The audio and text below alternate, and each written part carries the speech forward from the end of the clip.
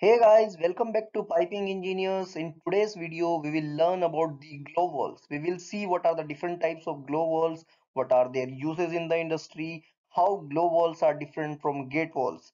So guys, let's begin our today's video. And for more videos and updates, please like, follow and subscribe to our channel Piping Engineers. So let's begin our today's amazing journey of learning of about globe valves. So guys, what is a globe valve? Valves we all know they serve different purposes in the industry. Sometimes they are used for on-off, sometimes we use them for throttling, sometimes we used for uh, them for non-return flow. So different applications requires different types of valves. So out uh, to serve th these type of uh, requirements, we have one type of valve that is globe valve. So guys, what is a globe valve? A globe valve is basically a linear motion valve. Linear motion valve means the the motion of the stem of globe valve will be linear, means uh, it will go up and down. So what is the function of these globe valves? Guys, these globe valves are primarily used to stop and to start and to regulate the flow. So these valves are basically used where we need to regulate the flow and we also require the start and stop of flow uh, depending upon the process requirements so guys the disk of a globe valve can be totally removed from flow path. You can see this is the disk of the valve and this is the flow path. The arrows are showing the flow path. You can see the disk can be removed completely from the flow flow path which is ideal for on off situations. And this disk can also be stopped intermediately which will be used when we will be uh, requiring the throttling of flow so but there is one problem with these globe valves. Due to this internal geometry you can see the direction of flow is getting changed uh, two to three times. So due to this internal geometry there is a mini there is a huge amount of pressure drop across the valves. So this is one of the drawbacks to these globe valves. So let's see what are the different types of globe valves. So guys, basically the types of globe valves that are used in industry, there are three types. One is your Z type or T type pattern globe valve. Next is your Y type and third is your angle types. I have I have arranged some pictures here so that you can easily visualize and see what does different type of globe valves look alike. So first one is your T type or T pattern globe valve. So this is the most common design, you know, uh, that is uh, a Z-shaped diagram. uh, Diagram. So why why Z-shaped? You can see the flow. It is it is going like this and it is like this. So it is it is it is making a Z Z a Z type uh, when it is moving from one end of the valve to the another end. The horizontal setting of the seat allows the stem and disc to travel perpendicular to horizontal line. You can see this is the stem of the valve and here it is the disc so when this hand wheel of the valve is rotated the stem will move up and down and this disc will also move up and down along with this stem. So this design has the lower coefficient of flow and higher pressure drop. As told earlier there will be a three directional change in flow or you can say four directional change in flow and the flow will flow uh, like a z is uh, made uh, alphabet of english is like so uh, there will be pressure drop because the flow will have to change direction three to four times inside the valve so what are the purposes of this valve? These valves are used where severe throttling services are used, such as in bypass lines around the control valve. T-pattern globe valves may also be used in applications where pressure drop is not a concern. If a system where we don't have the uh, issue of pressure drop inside the valve where we can use this type of globe valves or where severe type of throttling is required these globe valves find uh, their application. Next is your y type pattern. So as the name suggests this type of valves looks like y. So you can see this is this looks like a y. So this body of valve looks like a y.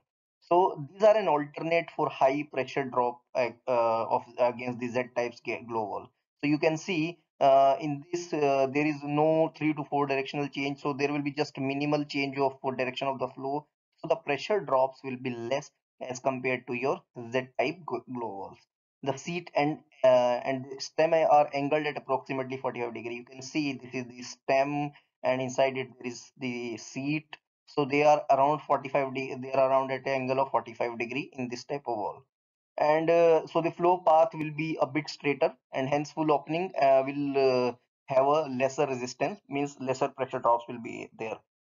They can be cracked open for long periods without severe erosion.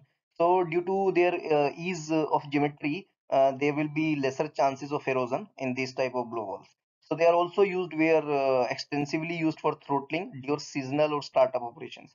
So after shut off, shutdown of the plant or during seasonal startups, um, if there if some type of activities are being followed in a plant, so generally you will see these uh, white type of globe valves there. Moving on to next, uh, angle pattern globe valves. As the name suggests, the valve opening and uh, inlet and outlet are at angle. So you can see if the if it if the flow is uh, getting inside from this part, it is it is going in outside from this way so it is ultimately following an angle of 90 degree here so again uh, you can see the different types of globe valve and you can tell about uh, how these globe valves look like or what type of globe valve is. So this is basically a design modification of your t pattern globe valve. In t pattern uh, uh, you i told you it was a z or t type was formed. So this is a modification of that valve.